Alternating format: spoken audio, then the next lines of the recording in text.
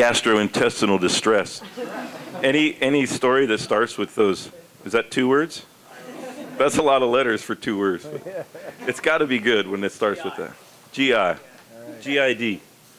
Yeah, I I, uh, I get I got like uh, uh, a stomach virus during the tour and uh, got quite ill overnight, and then and then uh, uh, couldn't sleep that well. We were staying in a gymnasium, the whole peloton, on cots.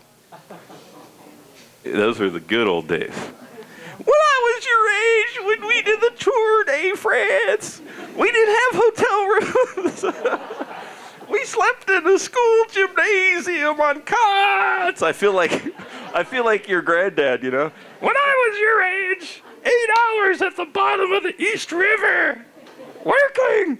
Eight hours, granddad? Eight hours! Not one breath of air!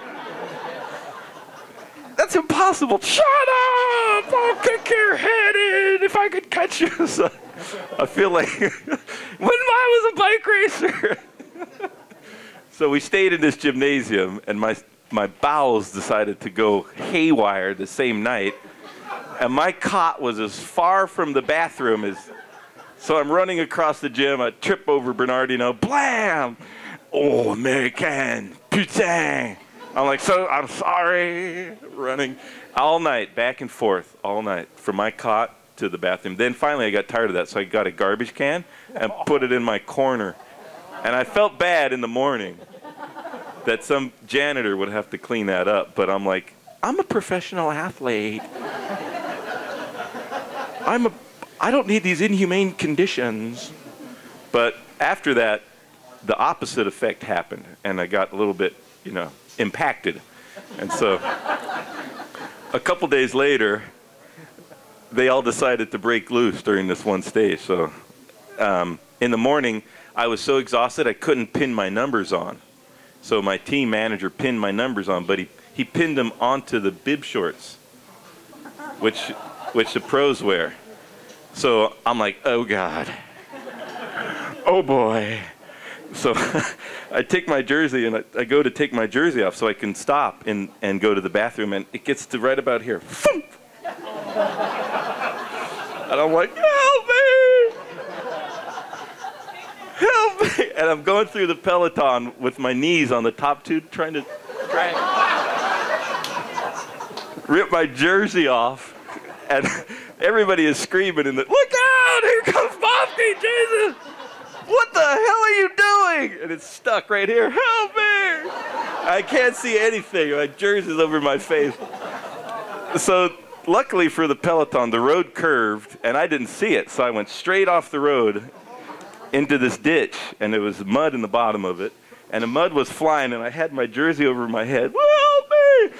And all the spectators were scattering all over, the, and mud was flying. It was, and they had all their best clothes on. So mud is like and I'm screaming, holding onto my top tube with my legs. And uh, a driveway, a driveway came over the culvert, and I hit the driveway. I never saw it, but I went over the bars, and that gave enough momentum for the jersey to come ripping off. I was like, oh, thank God. And I ran around the hedge and just blam! I was like, ah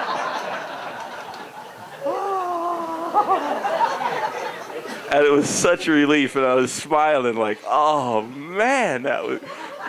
And I looked, I looked behind me, and the French family was having a picnic in, in their front yard, and the grandma was like, oh God. They're like, oh man, these Americans, oh my God. And they had the perfect like linen, you know, porcelain picnic. So I'm like, you won't mind if I use one of your napkins so I come running back out, and, the, and my bike is in the road after having been dislodged from me. And the team manager, Mike Neel, is standing there like, Have you seen the guy that was riding this? and all the French people are yelling at them because they're covered in mud. So, so I'm like, Mike, where's my, you idiot? You pinned my numbers on my bib shorts. He's like, So what? What are you doing?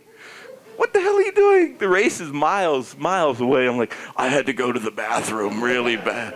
He's like, how bad? I'm like, really bad. He's like, oh my God. So I put my jersey back on and the numbers were just demolished because the pins just exploded. So I got back on my bike. It took like 50 Ks to catch the peloton by myself. And when I caught back on, they were so pissed they couldn't believe it that they hadn't gotten rid of me.